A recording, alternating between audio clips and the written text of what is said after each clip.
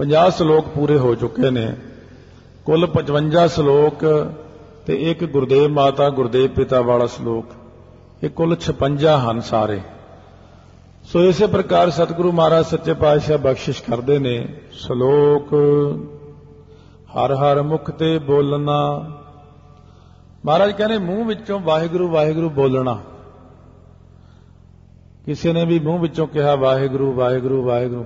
ਕਹਿੰਦੇ, ਤੈਨੂੰ ਸੁਖ ਹੋਇਆ? ਕਹਿੰਦੇ ਹੋਇਆ ਨਹੀਂ। ਕਹਿੰਦੇ ਕਿਉਂ ਨਹੀਂ ਹੋਇਆ? ਦਸਵੇਂ ਪਾਤਸ਼ਾਹ ਦੇ ਆਪਣੇ ਕੌਤਕ ਨੇ ਉਹਨਾਂ ਤੇ ਆਪਾਂ ਨੂੰ ਕੋਈ ਕਿੰਤੂ ਨਹੀਂ ਹੈਗਾ। ਵੀ ਉਹਨਾਂ ਨੇ ਐ ਕਿਉਂ ਕੀਤਾ? ਮਹਾਰਾਜ ਕਹਿੰਦੇ, ਅੱਜ ਬਈ ਸੁਖ ਨਿਧਾਨ ਰਗੜੋ, ਬਹੁਤ ਸਾਰਾ। ਜੋ ਸੁੱਖਾ ਰਗੜ ਲਿਆ, ਵਿੱਚ ਹੋਰ ਚੀਜ਼ਾਂ ਪਾ ਲੀਆਂ ਬਦਾਮ ਗਿਰੀਆਂ, ਇਹ ਉਹ ਕਰਕੇ। ਕਹਿੰਦੇ, ਆਪਣੇ ਆਪਣੇ ਬਾਟੇ ਲਿਆਓ। ਸਾਰੇ ਸਿੰਘ ਬਾਟੇ ਲਿਆ ਕੇ, ਮੂੰਹ ਵਿੱਚ ਪਾ ਕੇ ਅੰਦਰ ਨਹੀਂ ਲਗਾਉਣਾ ਇਹਦੀਆਂ ਕੁਰਲੀਆਂ ਕਰਨੀਆਂ ਬਸ। ਮੂੰਹ 'ਚ ਪਾਉਣਾ, ਬਾਹਰ ਕੱਢਣਾ, ਮੂੰਹ 'ਚ ਪਾਉਣਾ, ਬਾਹਰ ਕੱਢਣਾ। ਸੋ ਸਾਰਿਆਂ ਨੂੰ ਕੁਰਲੀਆਂ ਕਰਾਉਣ ਲੱਗ ਪਏ। ਬਾਅਦ ਵਿੱਚ ਮਹਾਰਾਜ ਸੱਚੇ ਪਾਤਸ਼ਾਹ ਘੰਟੇ ਕੁ ਬਾਅਦ ਕਹਿੰਦੇ, ਕਿਉਂ ਬਈ? ਕੋਈ ਅਸਰ ਹੋਇਆ? ਸਾਰੇ ਜਣੇ ਹੱਸ ਪਏ। ਇੱਕ ਜਣਾ ਕਹਿੰਦਾ, ਮਹਾਰਾਜ, ਜਦ ਚੀਜ਼ ਦਾ ਅੰਦਰ ਜਾਊਗੀ ਤਾਂ ਹੀ ਅਸਰ ਹੋਊਗਾ। ਇਹ ਤਾਂ ਕੁਰਲੀਆਂ ਨਾਲ ਤਾਂ ਨਹੀਂ ਅਸਰ ਹੁੰਦਾ ਜੀ। ਮਹਾਰਾਜ, ਉਹ ਤਾਂ ਅਸੀਂ ਅੰਦਰ ਨਹੀਂ ਲਗਾਈ ਹੈ ਚੀਜ਼। ਮਹਾਰਾਜ ਕਹਿੰਦੇ, ਬਸ ਮੈਂ ਪ੍ਰਮਾਣ ਹੀ ਦੇਣਾ ਤੁਹਾਨੂੰ। ਤੁਸੀਂ ਬਾਣੀ ਦੀਆਂ ਕੁਰਲੀਆਂ ਕਰਦੇ ਹੋ। ਤੁਸੀਂ ਬਾਣੀ ਨੂੰ ਅੰਦਰ ਨਹੀਂ ਲਗਾਉਂਦੇ ਹੋ। ਕਹਿੰਦੇ, ਬਾਣੀ ਦੀਆਂ ਕੁਰਲੀਆਂ ਨਾ ਕਰਿਆ ਕਰੋ ਭਾਈ। ਹਰ ਹਰ ਮੁਖ ਤੇ ਬੋਲਣਾ ਕੁਰਲੀ ਕਰਨੀ ਹੋਗੀ ਮੂੰਹ ਚੋਂ ਵਾਹਿਗੁਰੂ ਵਾਹਿਗੁਰੂ ਤਾਂ ਕਹਿ ਲਿਆ, ਪਰ ਸੁਖ ਨਹੀਂ ਹੋਇਆ। ਕਹਿੰਦੇ, ਸੁਖ ਕਿਵੇਂ ਮਿਲੇਗਾ ਜੀ? ਮਨ ਬੂਠਾ, ਸੁਖ ਹੋਏ। ਕਹਿੰਦੇ ਜਦੋਂ ਤੱਕ ਮਨ ਵਿੱਚ ਨਹੀਂ ਵਸਦਾ ਜਾ ਕੇ ਉਦੋਂ ਤੱਕ ਤੁਹਾਨੂੰ ਆਤਮਿਕ ਆਨੰਦ ਨਹੀਂ ਆਉਣਾ ਹੈ। ਆਪਣਾ ਕੱਲਾ ਇਹ ਕੰਮ ਨਹੀਂ ਕਿ ਮੂੰਹ ਚੋਂ ਵਾਹਿਗੁਰੂ ਕਹਿ ਲਿਆ ਬਸ, ਤੇ ਮੈਂ ਬੜਾ ਵਾਹਿਗੁਰੂ ਵਾਹਿਗੁਰੂ ਕਰਦਾ ਹਾਂ। ਆਪਣਾ ਇੱਕ ਉਦਮ ਤੇ ਕੋਸ਼ਿਸ਼ ਹੋਣੀ ਚਾਹੀਦੀ ਕਿ ਮੈਂ ਇਹਨੂੰ ਹਿਰਦੇ 'ਚ ਵਸਾਉਣਾ ਹੈ, ਨਾਮ ਨੂੰ। ਅਰਦਾਸਾਂ, ਬੇਨਤੀਆਂ ਤਰਲੇ ਕਰਨੇ ਨੇ। ਮੇਰੇ ਹਿਰਦੇ 'ਚ ਨਾਮ ਵਸਾਓ ਮਹਾਰਾਜ, ਮੇਰੇ ਦਿਲ ਵਿੱਚ ਨਾਮ ਵਸ ਜਾਵੇ। ਜਦੋਂ ਆਪਾਂ ਐਸੀਆਂ ਬੇਨਤੀਆਂ ਕਰਾਂਗੇ ਤਾਂ ਹਿਰਦੇ 'ਚ ਨਾਮ ਵਸ ਕੇ ਸੁੱਖ ਦਿੰਦਾ। ਉਦੋਂ ਪਹਿਲਾਂ ਨਹੀਂ। ਬੁਰਕੀ ਮੂੰਹ ਵਿੱਚ ਹੈ, ਹਲੇ ਭੁੱਖ ਨਹੀਂ ਮਿਟਦੀ। ਬੁਰਕੀ ਅੰਦਰ ਜਾਂਦੀ ਤਾਂ ਭੁੱਖ ਮਿਟਣੀ ਸ਼ੁਰੂ ਹੁੰਦੀ। ਨਾਨਕ ਸਭ ਮਹਿ ਰਵ ਰਹਿਆ ਥਾਨ ਥਨੰਤਰ ਸੋਏ। ਥਾਨ ਥਾਵਾਂ ਦੇ ਵਿੱਚ ਥਾਨ ਅੰਤਰ ਮਕਾਨੀਆਂ ਦੇ ਵਿੱਚ ਹਰ ਜਗ੍ਹਾ ਦੇ ਉੱਤੇ ਵਾਹਿਗੁਰੂ ਵਿਆਪਕ ਹੈ। ਹਰ ਇੱਕ ਜਗ੍ਹਾ ਦੇ ਉੱਤੇ ਆਪ ਵਿਆਪਕ ਨੇ। ਪਰ ਇਹ ਯਾਦ ਰੱਖੋ, ਕਹਿੰਦੇ ਮੂੰਹ ਵਿੱਚ ਬੋਲਣਾ, ਇੰਨਾ ਹੀ ਨਹੀਂ ਮੈਂ ਕਿਹਾ। ਮੈਂ ਕਿਹਾ ਵੀ ਮੂੰਹ ਨਾਲ ਵੀ ਜਪੋ ਤੇ ਹਿਰਦੇ ਨਾਲ ਵੀ ਜਪੋ। ਜਦ ਤੱਕ ਮਨ ਕਰਕੇ ਵਾਹਿਗੁਰੂ ਨਹੀਂ ਕਹਿੰਦੇ ਅੰਦਰੋਂ, ਉਦੋਂ ਤੱਕ ਇਹ ਹਿਰਦੇ 'ਚ ਵਸਦਾ ਨਹੀਂ। ਨਾਲੇ ਮਨ ਦੇ ਅੰਦਰ ਆਪਾਂ ਨੇ ਇਹ ਪੱਕਾ ਕਰ ਲੈਣਾ ਕਿ ਮੈਂ ਨਾਮ ਨੂੰ ਮਨ 'ਚ ਵਸਾਉਣਾ ਹੈ। ਜਦ ਤੱਕ ਨਾਮ ਮਨ 'ਚ ਨਹੀਂ ਵਸਦਾ, ਉਦੋਂ ਤੱਕ ਆਨੰਦ ਨਹੀਂ ਆਉਣਾ। ਫੇਰ ਨਾ ਕਿਉਂ ਮੈਂ ਜ਼ਿੰਦਗੀ 'ਚ 50 ਸਾਲ ਲਾਤੇ, ਵਾਹਿਗੁਰੂ ਵਾਹਿਗੁਰੂ ਕਰਦੇ ਨੇ। ਮਨ ਵਿੱਚ ਵਸਣਾ ਦਾ ਸੁੱਖ ਆਉਣਾ। ਇਸ ਕਰਕੇ ਪਹਿਲਾਂ ਤੋਂ ਨਿਸ਼ਾਨਾ ਆਪਣਾ ਇੱਕ ਰੱਖ ਲਓ ਕਿ ਮੈਂ ਮਨ ਵਿੱਚ ਵਸਾਉਣਾ ਨਾਮ ਨੂੰ। ਉਹਦੇ ਲਈ ਗੁਨਾਹ ਕੇ ਅਰਦਾਸਾਂ ਬੇਨਤੀਆਂ ਕਰਨੀਆਂ ਨੇ। ਉਹਦੇ ਵਾਸਤੇ ਹੀ ਸੇਵਾ ਕਰਨੀ ਪੈਂਦੀ ਹੈ। ਉਹਦੇ ਕਰਕੇ ਫਿਰ ਜ਼ਿਆਦਾ ਨਾਮ ਜਪਣਾ ਪੈਂਦਾ ਕਿਉਂਕਿ ਜਦੋਂ ਆਪਾਂ ਕੋਈ ਬਹੁਲਤਾ 'ਚ ਕੰਮ ਕਰਦੇ ਆਂ ਉਹ ਰਾਤ ਨੂੰ ਸੁਪਨਿਆਂ ਵਿੱਚ ਵੀ ਆ ਜਾਂਦਾ। ਕਿਉਂ? ਹਿਰਦੇ 'ਚ ਤਾਂ ਉਹੀ ਚੀਜ਼ ਵਸਦੀ ਹੈ ਜਿਹੜੀ ਆਪਾਂ ਜ਼ਿਆਦਾ ਕਰਦੇ ਆਂ ਤੇ ਇਸ ਕਰਕੇ ਜ਼ਿਆਦਾਤਰ ਤਾਈਓ ਕਹਿੰਦੇ 24 ਘੰਟੇ ਨਾਮ ਦੇ ਅਭਿਆਸੀ ਬਣੋ।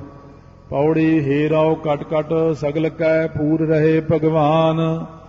ਹੀਰੋਂ ਦੇਖਦਾ ਹਾਂ ਘਟ ਘਟ ਸਗਲ ਕੈ। ਹਰੇਕ ਦੇ ਹਿਰਦੇ ਹਿਰਦੇ ਵਿੱਚ, ਹਰ ਥਾਂ ਦੇ ਉੱਤੇ ਵਾਹਿਗੁਰੂ ਵਿਆਪਕ ਨੇ। ਕੋਈ ਥਾਂ ਖਾਲੀ ਨਹੀਂ ਹੈ ਉਹਨਾਂ ਤੋਂ। ਹੋਵਤ ਆਏ ਸਦ ਸਦੀਵ, ਦੁਖ ਭੰਜਨ ਗੁਰ ਗਿਆਨ। ਪਿੱਛੇ ਹੁੰਦੇ ਆਏ ਨੇ ਸਦਾ ਸਦੀਵ, ਵਾਸਤੇ ਸਦੀਵ ਕਾਲ ਵਿੱਚ ਦੁੱਖਾਂ ਦੇ ਭੰਨਣ ਵਾਲੇ। ਗੁਰ ਗਿਆਨ ਦੇਣ ਵਾਲੇ ਹੁੰਦੇ ਆਏ ਨੇ ਪਿੱਛੇ ਬਹੁਤ। ਪਰ ਕਹਿੰਦੇ ਨੇ ਹੌਂ ਛੁਟਕਾ ਹੋਏ ਆਨੰਦ ਤੇ। ਜਿਨ੍ਹਾਂ ਦੇ ਅੰਦਰੋਂ ਹੌਂ ਛੁੱਟ ਗਈ, ਉਹਨਾਂ ਨੂੰ ਆਨੰਦ ਪ੍ਰਾਪਤ ਹੋਇਆ। ਹੌਂ ਜਿਹੜੀ ਹੈ ਇਹ ਇੱਕੋ ਹੀ ਗੱਲ ਹੈ ਨਾਮ ਦਾ ਹਿਰਦੇ 'ਚ ਵਸਣਾ ਤੇ ਹੌਂ ਦਾ ਛੁੱਟਣਾ। ਇੱਕੋ ਹੀ ਗੱਲ ਹੈ ਚਾਹੇ ਤਾਂ ਇਉਂ ਕਹਿ ਲਓ ਕਿ ਨਾਮ ਮੇਰੇ ਹਿਰਦੇ 'ਚ ਵਸ ਗਿਆ, ਜਾਂ ਇਉਂ ਕਹਿ ਲਓ ਮੇਰੀ ਹੌਂ ਛੁੱਟ ਗਈ। ਕਿਉਂਕਿ ਹਉਮੈ ਨਾਵੈ ਨਾਲ ਵਿਰੋਧ ਹੈ, ਦੋਏ ਨਾ ਵਸਾਂ ਇੱਕ ਠਾਏ। ਇਹਨੇ ਬਸਣਾ ਨਹੀਂ ਉੱਥੇ। ਜਦੋਂ ਨਾਮ ਹਿਰਦੇ ਚ ਆ ਗਿਆ, ਹਉ ਦੂਰ ਹੋ ਗਈ। ਹਉ ਛੁੱਟ ਕੇ ਹੋਏ ਆਨੰਦ ਤੇ, ਹਉ ਨਾਹੀ ਤੈ ਆਪ। ਜਿੱਥੇ ਨਹੀਂ ਹੈਗੀ ਹਉ, ਉੱਥੇ ਆਪ ਬੈਠੇ ਨੇ। ਜਿੱਥੇ ਹਉ ਹੈਗੀ, ਉੱਥੇ ਆਪ ਹੈ ਨਹੀਂ ਗਏ ਇਸ ਕਰਕੇ ਮਹਾਰਾਜ ਕਹਿੰਦੇ, ਆਪਣੇ ਹਿਰਦੇ ਚੋਂ ਹਉ ਨੂੰ ਦੂਰ ਕਰੋ। ਸੰਤਾਂ ਦਾ ਇੰਨਾ ਪ੍ਰਤਾਪ ਹੈ ਕਿ ਜਿਹੜੇ ਜਨਮ ਤੇ ਮਰਨ ਦੇ ਦੁੱਖ ਸੀ, ਉਹ ਸਾਰੇ ਹੀ ਉਹਨਾਂ ਨੇ ਦੂਰ ਕਰ ਦਿੱਤੇ ਨੇ। ਮਿਹਨਤ ਕੀਤੀ ਆ ਉਹਨਾਂ ਨੇ। ਇੱਕ ਬੰਦਾ ਇੱਕ ਘਰ ਵਿੱਚ ਮਿਹਨਤ ਕਰਕੇ ਬਹੁਤ ਵੱਡਾ ਅਫੀਸਰ ਲੱਗ ਜਾਂਦਾ ਹੈ। ਇਹਦਾ ਪੂਰੇ ਜ਼ਿਲ੍ਹੇ ਦਾ ਮਾਲਕ ਹੈ ਜਾਂ ਉਹ ਪੂਰੇ ਸਟੇਟ ਦਾ ਮਾਲਕ ਬਣ ਜਾਂਦਾ ਹੈ। ਮੁੜ ਕੇ ਤਾਂ ਉਹਦੀਆਂ ਸਾਰੀਆਂ ਕੋਲਾਂ ਨੂੰ ਹੀ ਨੌਕਰੀਆਂ ਮਿਲ ਜਾਂਦੀਆਂ। ਸਾਰੇ ਹੀ ਸਿੱਧੇ ਹੋ ਜਾਂਦੇ ਨੇ। ਸਾਰਾ ਕੁਝ ਹੀ ਬਣ ਜਾਂਦਾ ਫਿਰ ਤਾਂ। ਇਹ ਤਾਂ ਹੈ ਦੁਨਿਆਵੀ ਪ੍ਰਮਾਣ। ਪਰ ਇੱਕ ਕੋਲ ਵਿੱਚ ਇੱਕ ਭਗਤ ਕਿਤੇ ਅਭਿਆਸ ਕਰ ਲੇ, ਮਿਹਨਤ ਕਰ ਲੇ ਤੇ ਬ੍ਰਹਮ ਗਿਆਨੀ ਬਣ ਜਾਵੇ ਇੱਕ ਕੋਲ ਵਿੱਚ। ਬਸ ਫਿਰ ਲੋੜ ਨਹੀਂ ਪੈਂਦੀ ਛੇਤੀ ਕੀਤਿਆਂ ਕੁਝ ਕਰਨ ਦੀ। ਇਹ ਠੀਕ ਆ ਕਿ ਕਿਸੇ ਬ੍ਰਹਮ ਗਿਆਨੀ ਦਾ ਕੋਈ ਰਿਸ਼ਤੇਦਾਰ ਮਾੜਾ ਵੀ ਹੋ ਸਕਦਾ। ਆਪਾਂ ਕਹਾਂਗੇ ਉਹ ਤਾਂ ਫਲਾਨਾ ਮਾੜੇ ਕੰਮ ਕਰਦਾ। ਹੈ ਬ੍ਰਹਮ ਗਿਆਨੀ, ਇਹਦੀਆਂ ਗੁਣਾ ਕਿਵੇਂ ਤਾਂ? ਨਹੀਂ, ਉਹ ਤਰ ਜਾਂਦਾ। ਉਹ ਗਾਂ ਇੱਕ ਜਨਮ ਹੋਰ ਲਊਗਾ। ਫਿਰ ਨਹੀਂ ਹੋਊਗਾ, ਫਿਰ ਅਗਲੇ ਇੱਕ ਜਨਮ ਹੋਰ ਲਊਗਾ। ਤਰ ਜਾਣਾ ਉਹਨੇ। ਸੋ ਇਸ ਪ੍ਰਕਾਰ ਮਹਾਰਾਜ ਕਹਿੰਦੇ ਨੇ, ਜਦੋਂ ਆਪਣੇ ਕੋਲ ਇੱਕ ਬ੍ਰਹਮ ਗਿਆਨੀ, ਮਾਈ ਸੇਵੀ ਸੋ ਅਖਾੜਾ ਪਿੰਡ ਲੁਧਿਆਣੇ ਜ਼ਿਲ੍ਹੇ ਚ, ਜਗਰਾਵਾਂ ਦੇ ਕੋਲੇ। ਦਸਵੇਂ ਪਾਤਸ਼ਾਹ ਉਥੋਂ ਘੋੜੇ ਤੇ ਲੰਘੇ। ਪਤਾ ਲੱਗ ਗਿਆ ਪਿੰਡ ਦੀ ਸੰਗਤ ਨੂੰ ਮਹਾਰਾਜ ਆ ਰਹੇ ਨੇ। ਮਾਈ ਨੇ ਬੜਾ ਸੋਹਣਾ ਦੁੱਧ ਕੜਿਆ ਹੋਇਆ। ਮਲਾਈ ਪਾ ਕੇ, ਸ਼ੱਕਰ ਪਾ ਕੇ ਖੜੀ ਹੋ ਗਈ। ਬੇਨਤੀ ਕੀਤੀ ਮਹਾਰਾਜ, ਇਹ ਗਰੀਬਣੀ ਦਾ ਦੁੱਧ ਜ਼ਰੂਰ ਛੱਕ ਕੇ ਜਾਓ। ਮਹਾਰਾਜ ਉਤਰੇ ਆਏ ਘਰ ਵਿੱਚ ਚਰਨ ਪਾਏ। ਸਤਿਗੁਰੂ ਨੇ ਦੁੱਧ ਛਕਿਆ, ਪ੍ਰਸੰਨ ਹੋਏ। ਦੱਸ ਮਾਤਾ, ਕੀ ਚਾਹੁੰਦੀ ਹੈ ਕੀ ਤੇਰੀ ਇੱਛਾ, ਦੱਸ ਤੇਰੀ ਇੱਛਾ ਪੂਰੀ ਕਰੀਏ। ਉਹ ਮਾਈ ਦੇਖੋ ਕਿੰਨੀ ਸਿਆਣੀ ਹੈ ਰੱਬ ਦੇ ਬੰਦੇ ਸਿਆਣੇ ਹੀ ਹੁੰਦੇ ਨੇ। ਉਹ ਕਹਿੰਦੀ, ਮਹਾਰਾਜ, ਜੇ ਤਰੁੱਠੇ ਹੋ, ਤਾਂ ਮੇਰੀ ਕੋਲ ਵਿੱਚ ਇੱਕ ਬ੍ਰਹਮ ਗਿਆਨੀ ਹੋ ਜਾਵੇ ਬਸ। ਮਹਾਰਾਜ ਬੜੇ ਹੱਸੇ, ਕਹਿੰਦੇ, ਮਾਈ ਬਹੁਤ ਸਿਆਣੀ ਹੈ ਇਹ ਨਹੀਂ ਕਿਹਾ ਮੇਰੀਆਂ 21 ਕੋਲਾਂ ਤਰ ਜਾਣ ਜਾਂ ਮੇਰੀ 101 ਕੋਲ ਤਰ ਜਾਵੇ। ਕਹਿੰਦੇ ਨੇ ਬ੍ਰਹਮ ਗਿਆਨੀ ਮੰਗ ਲਿਆ। ਕਹਿੰਦੇ, ਚੰਗਾ ਮਾਤਾ, ਕੋਈ ਸਮਾਂ ਆਵੇਗਾ, ਤੇਰੇ ਘਰ ਬ੍ਰਹਮ ਗਿਆਨੀ ਹੋਵੇਗਾ। ਬਹੁਤ ਸਿੱਖੀ ਦਾ ਪ੍ਰਚਾਰ ਕਰੇਗਾ। ਉਹ ਤੇਰੀਆਂ 21 ਕੋਲਾਂ ਕੀ ਤਾਰੇਗਾ, ਉਹ ਤਾਂ ਕਈ ਲੱਖਾਂ ਜੀਵਾਂ ਨੂੰ ਤਾਰੇਗਾ। ਸੋ ਇਸ ਪ੍ਰਕਾਰ ਮਾਤਾ ਨੂੰ ਮਹਾਰਾਜ ਨੇ ਵਰ ਦੇ ਦਿੱਤਾ। ਸਮਾਂ ਬੀਤਦਾ ਗਿਆ ਬੀਤਦਾ ਗਿਆ ਬੀਤਦਾ ਗਿਆ। ਇੱਕ ਸਮਾਂ ਐਸਾ ਆਇਆ ਜਦੋਂ ਉਸ ਕੁਲ ਦੇ ਵਿੱਚ ਸੰਤ ਬਾਬਾ ਗੁਰਵਚਨ ਸਿੰਘ ਜੀ ਖਾਲਸਾ ਨੇ ਜਨਮ ਲਿਆ ਫਿਰ। ਬਹੁਤ ਦੁਨੀਆ ਉਹਨਾਂ ਨੇ ਸਮਝਾਈ, ਪੜ੍ਹਾਈ, ਪਾਠੀ ਬਣਾਏ, ਗ੍ਰੰਥੀ ਬਣਾਏ, ਕਥਾਵਾਚਕ ਬਣਾਏ। ਗੂੜ ਗਿਆਨ ਦੇ ਗਿਆਨਵਾਨ ਦੋਨੋਂ ਗੱਲਾਂ ਉਹਦੇ ਵਿੱਚ। ਇੱਕ ਮਹਾਤਮਾ ਨੂੰ ਅੱਖਰ ਲਾਉਨੇ ਆਪਾਂ ਸੰਤ ਕੱਲਾ।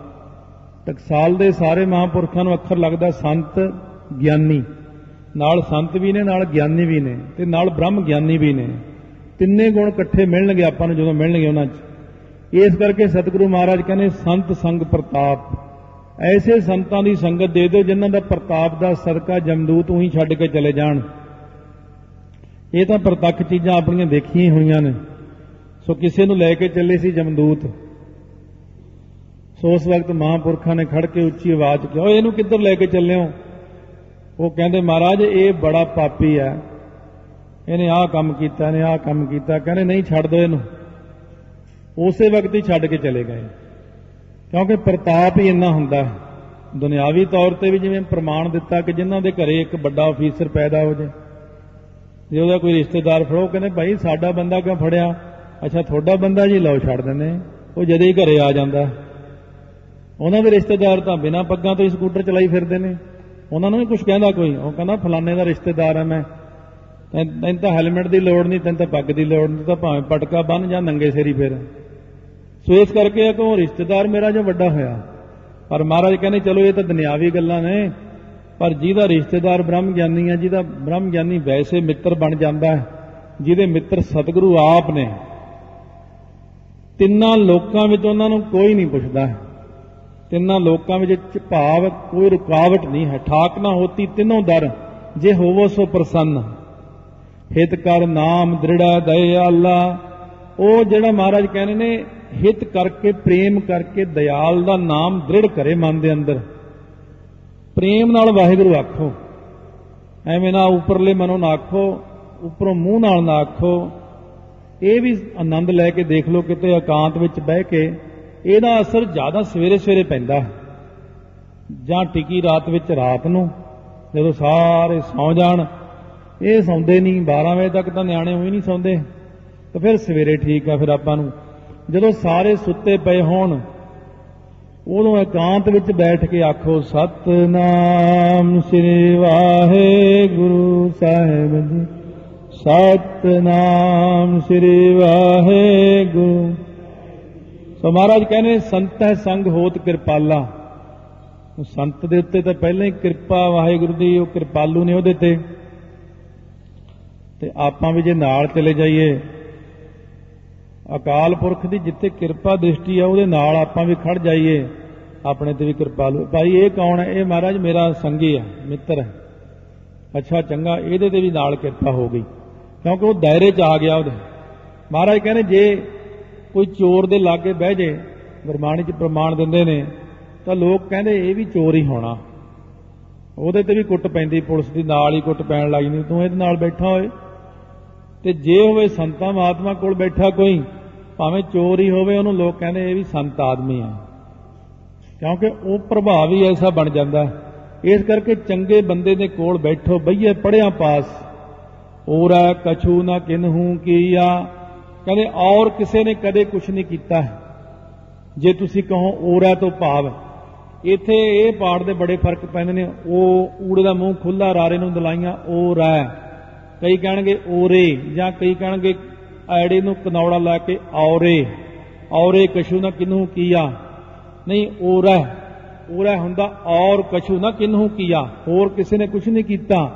ਨਾਨਕ ਸਭ ਕੁਝ ਪ੍ਰਭ ਤੇ ਹੁਆ, ਜੋ ਕੁਝ ਹੋਇਆ ਵਾਹਿਗੁਰੂ ਤੋਂ ਹੀ ਹੋਇਆ। ਸਭ ਪਰਮਾਤਮਾ ਨੇ ਕੀਤਾ। ਇਹ ਜੀ ਬਿਰਤੀ ਆਪਣੇ ਅੰਦਰ ਆਉਣੀ ਹੈ ਜਦੋਂ ਤਾਂ ਗੱਲ ਬਣਨੀ, ਬਾਹਰਲੀਆਂ ਗੱਲਾਂ ਨਾਲ ਨਹੀਂ ਕੁਝ ਬਣਦਾ।